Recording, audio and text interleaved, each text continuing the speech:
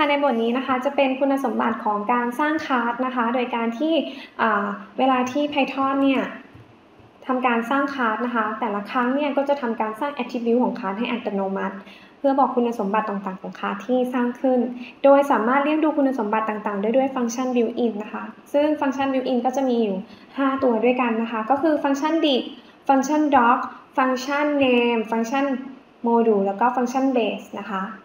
ฟังก์ชัน dict นะคะก็คือ dictionary นะคะก็ใช้สำหรับเก็บ namespace ของ class นะคะแล้วก็ฟังก์ชัน doc ก็คือแบบย่อมาจาก document นะคะก็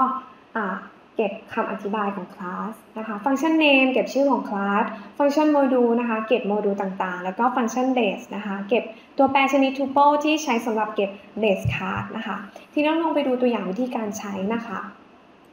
ฟังก์ชัน dict นะคะก็จะเก็บ namespace ของ class นะคะ ก็ขออนุญาตใช้คลาสเดิมเหมือนตอนที่ได้เรียนรู้วิธีการเขียน Python แบบ OP นะคะ แล้วก็จะใช้คลาส employee นะคะ เป็นคลาสเดิม แล้วก็เราก็มาเรียกใช้ฟังก์ชัน dict นะคะ เพื่อดูคุณสมบัติของ employee นะคะ ก็จะเห็นว่าฟังก์ชัน dict นะคะ ก็จะเก็บ namespace ของคลาสนะคะ ผลลัพธ์ก็จะมีอย่างนี้ อันนี้นะคะ วิธีการเรียกใช้ ก็แค่เข้าถึง คลาสนั้นด้วยเครื่องหมาย dot นะคะ แล้วก็ตามด้วยฟังก์ชัน built-in dict นะคะ dict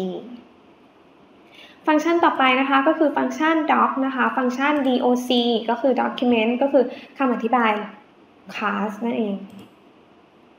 ก็จะเห็นว่าได้ผลแล้วมาเป็น example class with team method นะคะ ก็คือตัวนี้ ก็คือนำคำอธิบายของคลาสนะคะมาแสดงก็คือเข้าถึงคลาส employee แล้วก็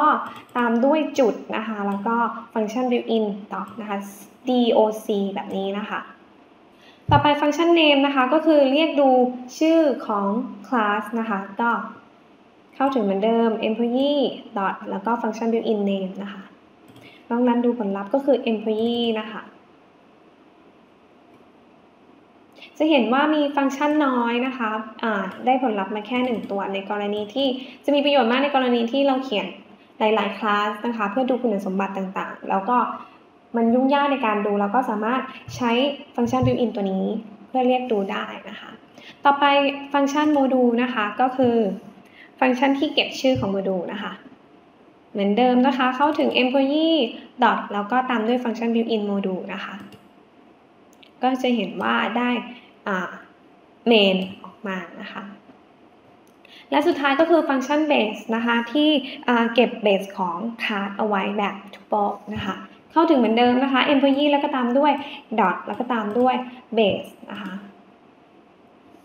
นี้ก็จะเก็บเป็น tuple นะคะ อันนี้ก็จะจบในเรื่องของคุณสมบัติของ card นะคะ แล้วก็การใช้ฟังก์ชัน built-in ต่างๆ เพื่อเรียกดูคุณสมบัติของ card นะคะ